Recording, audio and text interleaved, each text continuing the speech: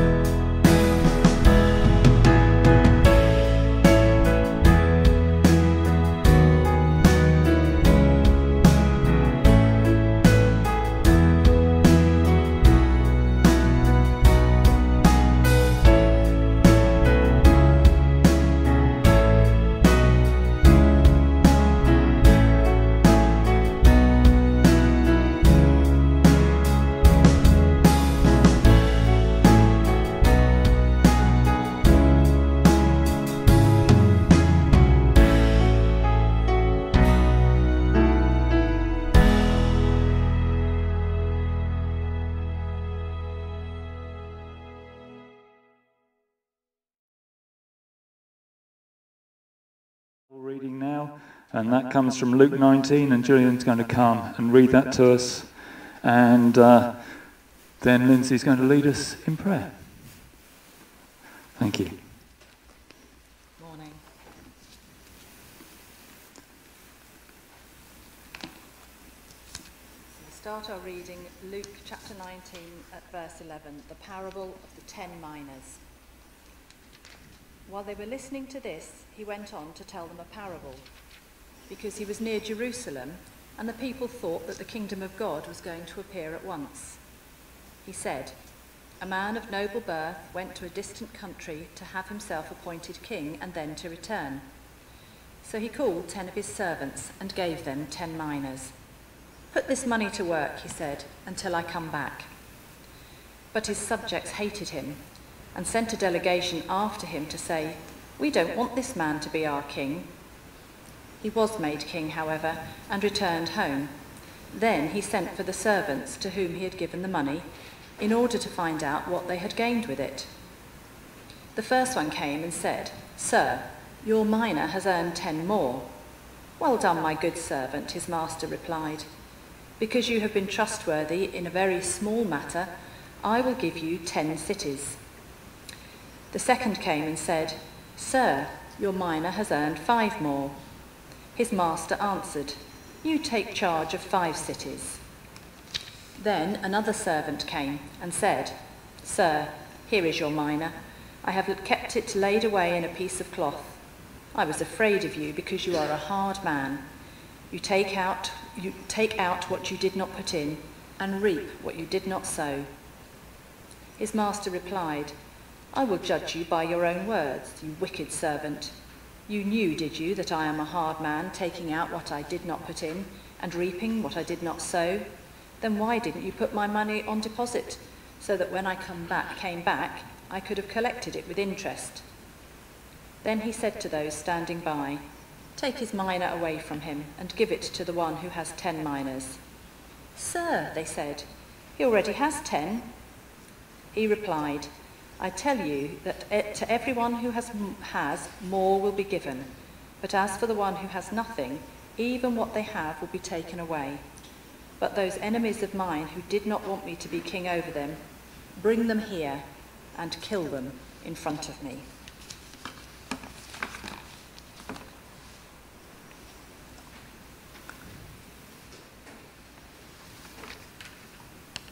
Morning, everybody. Morning. Isn't it nice to be back in chapel? And today we're going to be thinking of our church family. So we know that part of our family isn't here.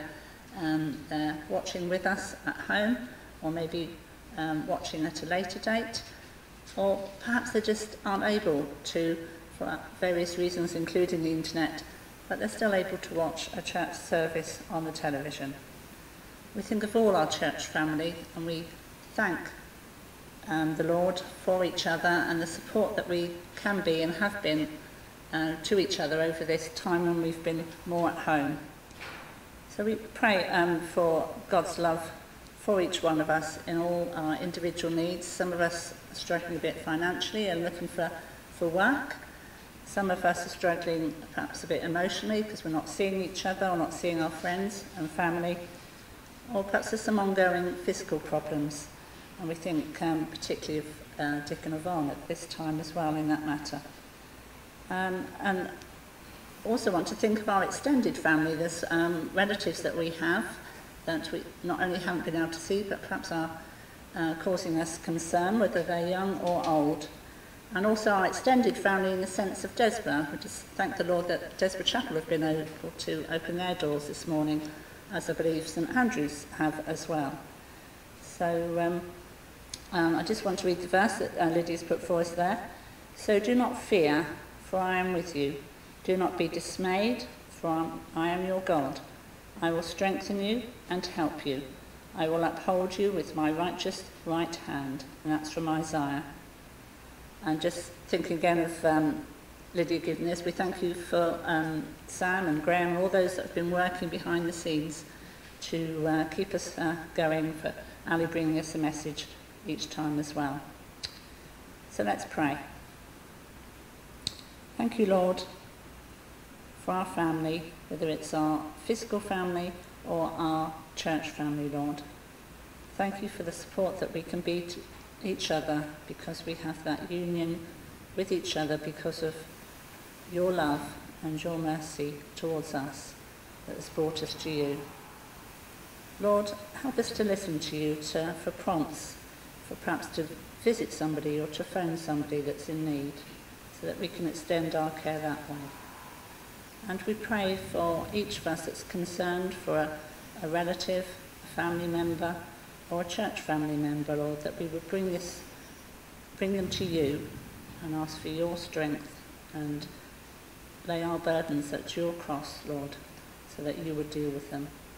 We thank you that we've been able to open last week and today. We thank you for the technical work that's gone on behind the scenes that enables us not only to be here but to stream as well and to record the services. We pray that it will be a witness to this village. Lord, we thank you for the skills that have been involved in that, but we also thank you for our young people, for the evidence of their hard work and their talents that you have given them in all these exam results and qualifications that have come out this week and last. We thank you for them and we pray for them as they go on to the next stage of their education or into work, that they will trust you and look to you, particularly when times are difficult. Lord, we thank you for all that you've given us here in the church. May we be fully grateful for it. Amen. Amen. As we continue together, so I uh, just want to remind us that the church is not a building, but the people.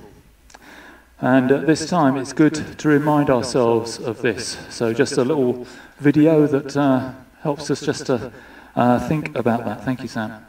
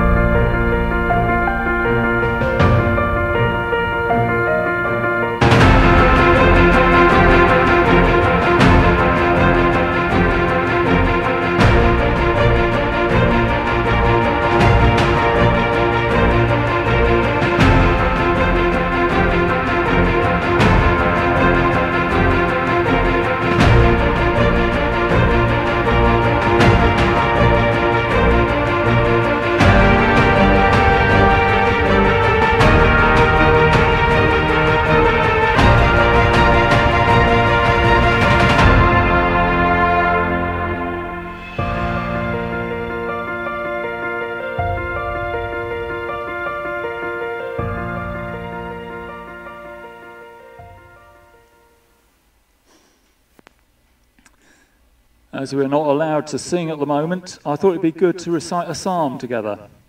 The Psalms are the uh, Bible's songbook and enables us to say uh, our praise to God.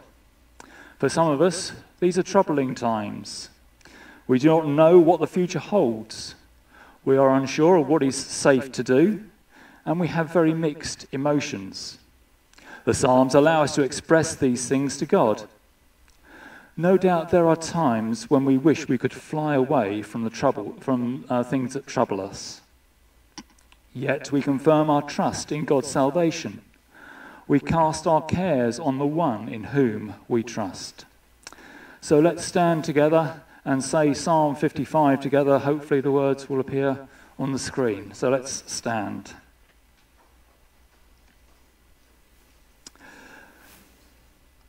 Listen to my prayer, O God. Do not ignore my plea. Hear me and answer me.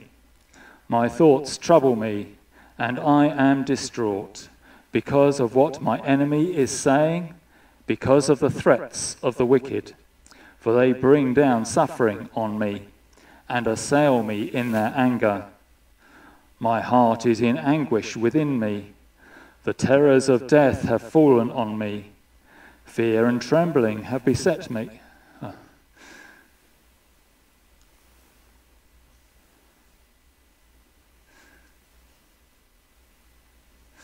Fear and trembling have beset me.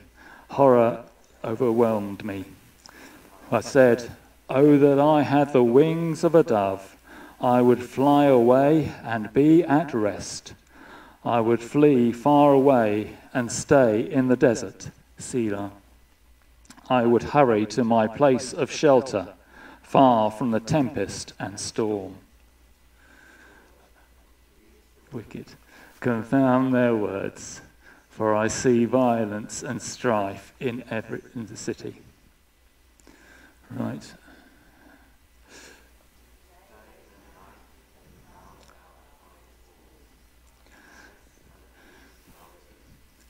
Destructive forces are at work in the city. Threats and lies never leave its streets. If an enemy were insulting me, I could endure it. If a foe were rising against me, I could hide. But it is you, a man like myself, my companion, my close friend, with whom I once enjoyed sweet fellowship at the house of God as we walked about the monks, the worshippers. Let death take my enemies by surprise let them go down alive to the realm of the dead, for evil finds lodging among them. As for me, I call to the God, and the Lord saves me. Evening, morning, and noon, I cry out in distress, and he hears my voice. He rescues me from the battle waged against me, even though many oppose me. God, who is enthroned from of old, who does not change, he will hear them and humble them because they have no fear of God. Attacks his friends. He violates his covenant. He talk is smooth as butter, yet war is in his heart. His words are more soothing than oil, yet they are drawn swords. Cast your cares on the Lord, and he will sustain you. He will never let the righteous be shaken, but you, God, will bring down the wicked into the pit of decay. The bloodthirsty and deceitful will not live out half their days. But as for me, I trust in you. Please be seated.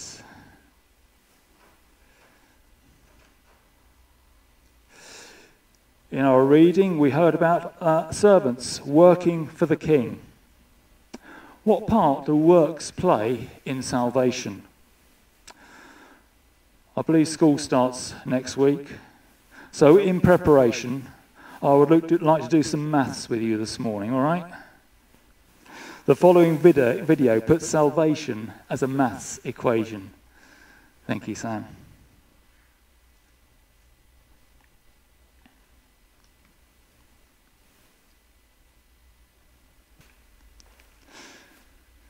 There you go. There's your maths lesson for the day.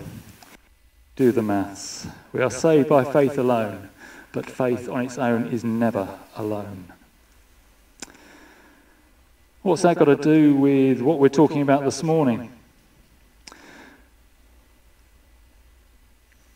We're thinking about discipleship and using our gifts, or that's what I originally entitled this morning. Uh, as we go through, maybe you'll think that the title is actually wrong, but uh, let's uh, go through this anyway. Have you ever noticed that people see diff- things differently? Have you ever noticed that you see something different to other people? Gillian will sometimes say to me, Did you notice somebody's shoes? And I'll say, What? What shoes? They obviously had some on, but I didn't look at them. And everybody's looking at their shoes now, aren't they? And as they pass Julian, they're just checking they were okay. But yeah, we look at things differently. If I was to ask you to stand in the foyer at the back of the chapel and look into the chapel, you wouldn't see the sound desk. You see a lot of other things in the chapel, but you wouldn't see the sound desk because it's round the corner out of sight. Likewise, if you went and stood out in the back hall by the hatch, looked into the church, you wouldn't see me standing here, you wouldn't see the organ, you wouldn't see the things over in this corner because they're hidden. Scripture can be a bit like that. We interpret Scripture with our Western culture and traditions and see things differently sometimes from those that look at it from a different place. You'll understand what I'm getting at as we go through this morning. But just to recap for those who haven't been with us the past couple of weeks, uh, just that, that, we've been thinking about uh, what it means to be wise and foolish disciples. In other words, discipleship in practice. Wise disciples put their faith into practice, as that video showed us. Faith needs to be worked out. It needs to be put into practice. That's uh, you know. So salvation produces works in us. Wise disciples uh, putting things into practice, just like the wise builder. The wise builder who built his house upon the rock put what he heard into practice. It also means involving God in our plans unlike the foolish farmer who didn't involve God in his plans, and that night God demanded his soul of him. I thought this week was going to be about using our gifts wisely. The trouble with thought is he thought his toes were hanging out the edge of the bed, so he got out, tucked them back in again. Thought. I thought what I thought isn't quite as it turns out. If we take Matthew's version of this parable, then I would be on safer ground saying that this is about using our gifts wisely for God. But Luke tells us a very different parable in a very different setting. It is not the same parable as Jesus, as uh, Matthew records in, Math, uh, in his gospel. Joel Green puts it like this The question put forward by Jesus' parable is a pressing one. Those who abhor the, the nobleman and reject his claim to the throne, are they rebels or are they patriots? The slave who blew the whistle on the character and practices of the nobleman, is his action noteworthy or blameworthy? Put another way, is Jesus really the uh, heir apparent? Is this really the nature of God's imperial rule? and we are left to take sides. So, as we come to think about this parable and what it might mean for us, verses 1 to 11 set the scene. The previous verses, you have the, uh, Zacchaeus uh, being saved, which leads some uh, in the uh, crowd to ask whether the kingdom of God was coming right now. Is the kingdom of God coming now? That was the question that Jesus was answering with this parable. In response to this, Jesus uses recent history to make his point. Remember, Luke is an, is an historian. He checks his facts. He goes back and looks at things and checks his facts and writes his book as a history book. Luke 3 emphasizes this. If you go back to Luke 3, you'll find there's a governor and three tetrarchs. What's a tetrarch? A tetrarch is a ruler over a quarter. tetra meaning four, so is a, a uh, each have a fourth of the kingdom. How did that come about? When Herod the Great died, so we're talking about Jesus' lifetime here, his history, what happened with him? When he died, Archelaus, his son, went to Rome to be crowned king. But things didn't go according to plan. Just before he went, there was an uprising in Jerusalem. It was at the time of the Passover, and he went out, with, uh, raised, uh, used the army, and killed 3,000 Jews. Is it any wonder that the Jews hated him? when he killed 3,000 of them. He went off to Rome to be crowned king. The Jews sent a delegate of 50 people after him to say to Caesar, We do not want this man to reign over us. Can you start to see the picture that Jesus is painting? This is their recent history.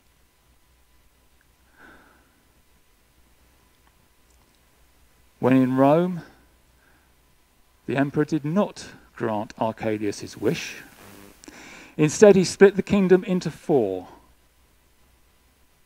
Archelaus got part, Herod Antipas got part, who's his, uh, two, two, of his uh, two of his brothers got part of the kingdom, Herod Antipas and Philip, and you'll read of those in the Gospels. and Lysanias got the top part. So you have four kingdoms out of the one, which is why there were go- governors and tetrarchs. What happened to Arcadius?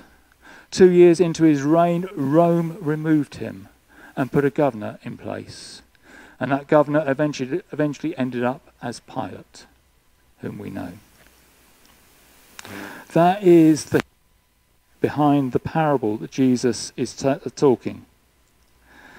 So, as Jesus spoke, so these things would be going through their mind. This is our history. This is what we know. This is what we have lived through. So, what's the point that Jesus is making? I would suggest the point is this You think the kingdom of God will come now? I would tell you that the world will continue as it has done. You thought the delegation would change things. It didn't. In fact, things got worse. Therefore, do not be surprised when evil triumphs. Just because Zacchaeus has been saved, it doesn't mean the end of unjust taxation. There will be others who come as unjust taxers, taking unjust taxes for Rome and for themselves. There will be others who replace them. The parable ends with To all those who have more, more will be given. But from those who have nothing, even what they have will be taken away. And isn't that what we see in society today? The rich getting richer and the poor poorer. we sometimes ask, where is God in what is happening around us? Where is God in our situation? Jesus warns disciples, he warns those that are listening that that is how things will be. Until his kingdom comes in its fullness, the ways of the world will continue. There will be corruption there will be those who destroy others, those who are in power, who impose their will. For want of a better word, sometimes are known as despots. And we continue to see it in the world at the moment. Is it all bleakness and sadness?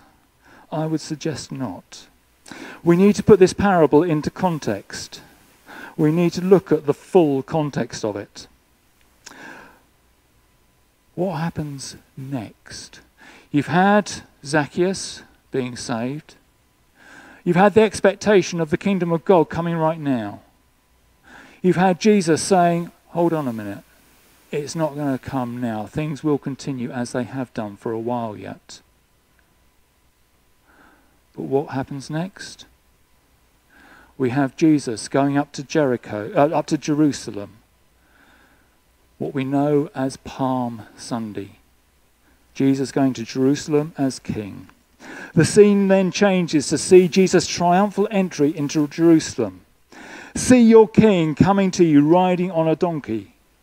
How very different uh, that is to Arcadius. Jesus comes into Jerusalem, not in power and might, but in meekness and majesty. In this way, Jesus gives a very different picture of what his kingdom is like. It is not one of demands, but one of asking. It is not one of strife and rebellion, but of peace and fellowship. Jesus goes on to say, uh, as he goes into Jeru- when he go in Jerusalem, he says, "What um, if you had only known on this day what would bring you peace, and what would have brought peace?" Submitting to the rule of Jesus Christ, submitting to the King who has authority to rule, but does not enforce his rule, does not enforce people to follow him. The kingdom of God is made up of those who choose to follow Jesus Christ as King and then live it out. Live out what it means to own Jesus Christ as King. Luke 19 lays a very stark choice before us this morning. Who will we let reign over us? In today's society, the idea of kingship is not popular. We choose our leaders and then moan about what, they've, uh, what the ones we've elected uh, do and then uh, choose some more.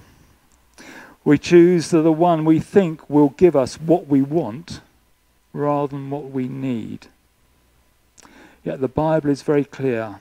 We are not free to do as we please. We are either under the kingship of sin or under the kingship of God. We can choose who we will let rule over us. This parable sets out what it would be like living under the world's rule. There is the expectation that you will make money for the king, and any rebellion will be put down. The king rules by fear, and rewards are for those who are able to work the world's system to their advantage. And do remember what happened to Archelaus. He was removed from power within two years. That way of life will come to an end. What follows the parable sets out what it means to have Jesus as your king. It means being humble, living in peace, standing up against injustice, and ultimately being willing to surrender your life for the kingdom. The king gives his life for his citizens on the cross, and he says to us, Come, follow me. Bible is good at painting pictures. I don't know how many of you have read Revelation, but there's the picture in Revelation of the lion and the lamb. John is standing in heaven, and the angel says to him, Behold the lion of the tribe of Judah. And isn't that how we expect God to reign? lion. He's king of the beasts, isn't he? He's the one that reigns. That's how we expect God to act. The lion, the king of, of Judah. And I turned and I saw a lamb as if it had been slain. The kingdom of God in all its power shown in the Lamb who was slain for us. God's kingdom, the kingdom of Jesus Christ, is a very different kingdom to the kingdom of the world. And we are choo- call, asked to choose who we will serve. Or to put it in the terms of the parable, who we will not let rule over us. The kingdom of God has come, yet it is not amongst, among those, uh, and yes, it is amongst those who submit to the king. Is it here in all its fullness? Not yet. But I trust something of the kingdom of God can be shown amongst us as we submit to the rule of Christ. So, summing up, the wise and foolish disciples if we are members of the kingdom, what sort of citizens are we?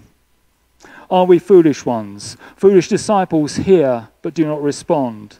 They plan without God and they live into the world's standards.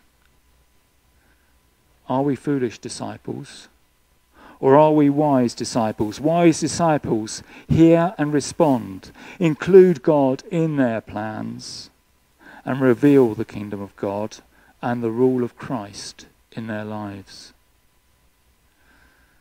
Do I reveal the rule of Christ in my life? And which king do we want to rule over us? Or, sorry, which king do we not want to rule over us? And therefore reject their ways. Amen. Our final hymn this morning is I, the Lord of sea and sky, I have heard my people cry. Uh, Here I am, Lord. Is it I, Lord? I've heard you calling in the night. I will go, Lord, if you lead me. I will hold your people in my heart. Is that how we will act? Thank you.